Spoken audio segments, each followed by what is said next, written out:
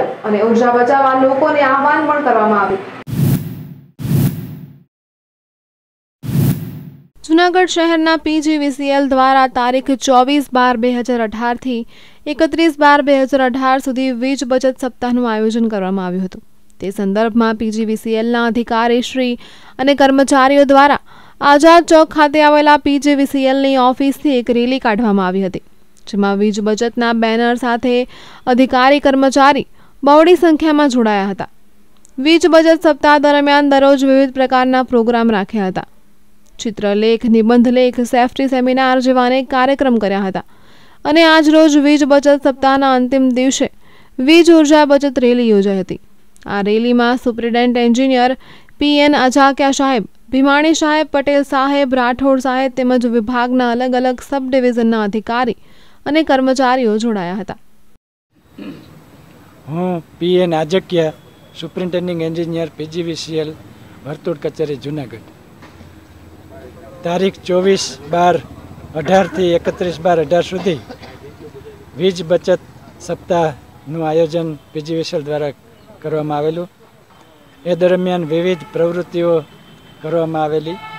વક્તૃત્વ સ્પર્ધા, બાળકોની ચિત્ર સ્પર્ધા, નિબંધ લેખન, ત્યારબાદ સેફટી સેમિનાર અને અમારી જુદી જુદી કચેરીઓમાં મોક ડ્રીલનું પણ આયોજન કરેલું હતું.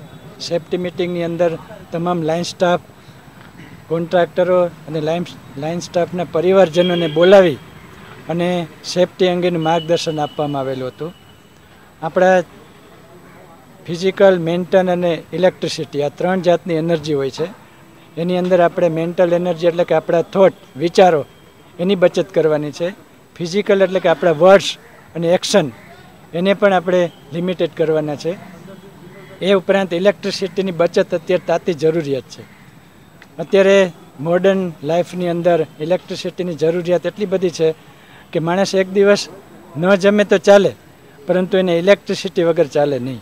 એટલા માટે આ પીજીવીસીએલ દ્વારા અમે એવું બધાને સૂચન કરીએ છીએ કે ભાઈ વીજળી બચાવો. વીજળી ઉત્પન્ન કરવી તો બહુ મોંઘી છે. પણ સ્વિચની ઉપર ખાલી એક આંગળી અડાડીએ તો આપણે વીજળી બચત કરી શકીએ છીએ. તો વીજળી બચાવવા માટે અમે આજે ઊર્જા બચત રેલી કાઢીએ છીએ.